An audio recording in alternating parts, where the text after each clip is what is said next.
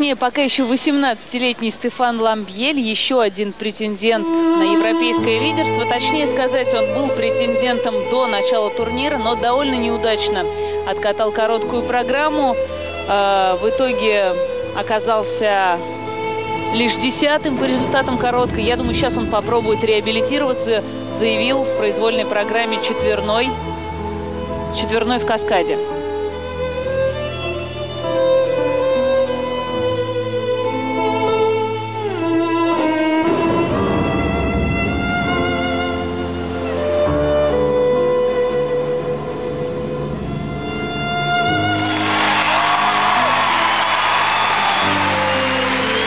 сделаю его.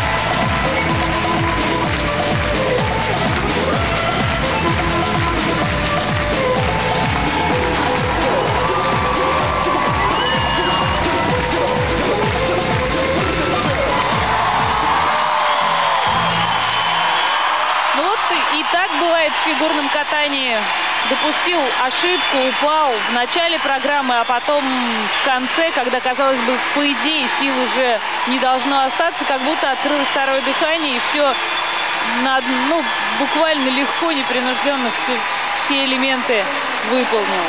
Вот и сделал четверной прыжок. Это, в начале. Да, потрясающий фигурист.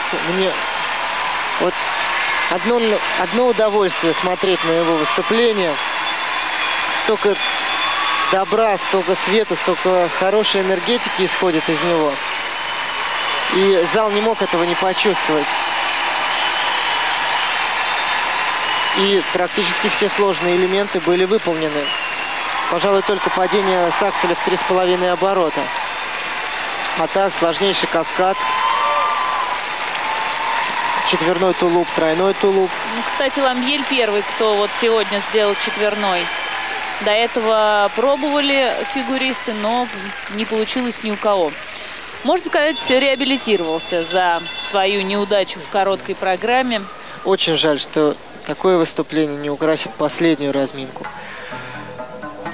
Очень самобытный, со своей неподражаемой пластикой, очень красивыми прыжками. Вот как раз четверной тулуп и тройной тулуп. Каскад. А вот неудачный тройной аксель. Пожалуй, единственная грубая ошибка за всю программу. Я практически не сомневаюсь, что сейчас Стефан Ламбель возглавит турнирную таблицу. А значит, соответственно, займет как минимум седьмое место.